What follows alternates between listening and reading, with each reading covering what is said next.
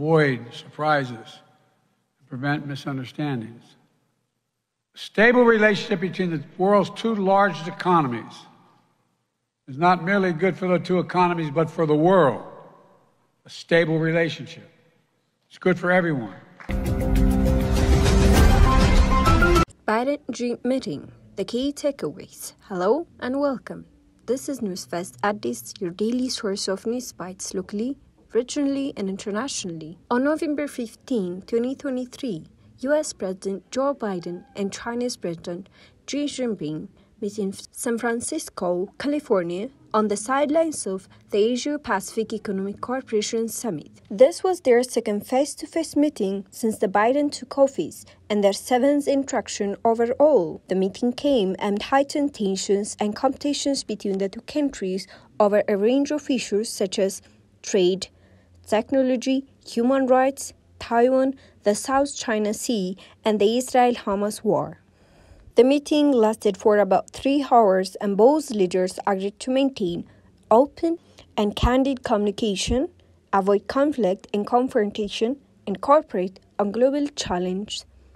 Here are some of the key takeaways from the meeting. Restoring military communication. One of the main goals of the meeting was to re establish the military to military communication channels that were cut off by China in August 2022 after then Speaker Nancy Pelosi visited Taiwan. The U.S. officials said that Biden was determined to restore the crucial communication, but China appeared to reluctant to do so. The U.S. officials also said that the incidence of a Chinese spy balloon being shot down by the U.S. fighter jet in February 2023 came up often in the discussion about the military silence.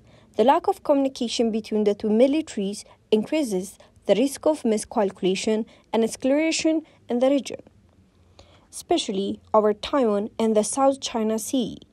The two leaders agreed to resume the dialogue between their defense ministers as soon as possible and to establish a hostile line between them. Managing competition and cooperation. The meeting also aimed to manage the strategic competition between the two countries and to identify areas of potential cooperation. The US officials said that they were clear eyed about the challenges posed by China and that they did not expect China to change its behavior or policies. However, they also said that they expect China to be a major player on the world stage for the rest of their lifetime and that they wanted to prevent the relationship from spiraling into conflict or confrontation the two leaders agreed to respect each other's core interests and major concerns and to avoid actions that would undermine mutual trust and stability. They also agreed to work together on transitional issues that affect the international community, such as climate change, pandemic response, nuclear proliferation, and counterterrorism. Addressing regional and global issues. The meeting also covers a range of regional and global issues that are mutual interests or concern to both countries. The US officials said that Biden raised the issue of human rights and democracy in China, especially in Xinjiang, Hong Kong, and Tibet. He also reiterated the US commitment to the One China policy, but expressed concern about China's military activities and coalitions around Taiwan. He urged China to refrain from unilateral actions that would change the status quo or security tensions across the Taiwan Strait. The two leaders also discussed the situation in the southern China and eastern China seas, where China has been asserting its territorial claims and building artificial islands and military facilities. They agreed to abide by the international law and norms and to avoid actions that would endanger peace and stability in the region. On the issue of trade and technology, the two leaders acknowledged the importance of maintaining a fair and balanced economic relationship and agreed to resume the negotiations on the phase 2 trade deal that was stalled under the Trump administration. They also agreed to enhance the dialogue and cooperation on innovation, cybersecurity, and intellectual property rights. On the issue of the Israel Hamas war, the two leaders agreed to support the efforts of the United Nations and other parties to end the violence and achieve a lasting peace in the Middle East. They also agreed to coordinate their positions and actions on Iran's nuclear program and to urge Iran to return to the compliance with the 2015 nuclear deal, building personal rapport.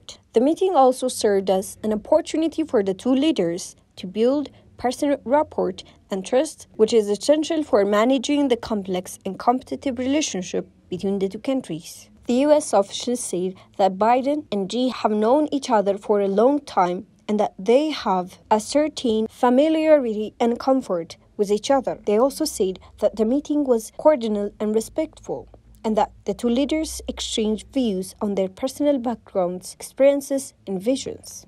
The two leaders also exchanged gifts that reflects their cultural and historical ties. Biden gave Xi a painting of a Golden Gate Bridge by a Chinese American artist and a book of poems by Walt Whitman. Xi gave Biden a silk scroll with a calligraphy of a poem by Li Bai and a Tang Dynasty pot and a porcelain vase with a blue and white design of a dragon and a phoenix.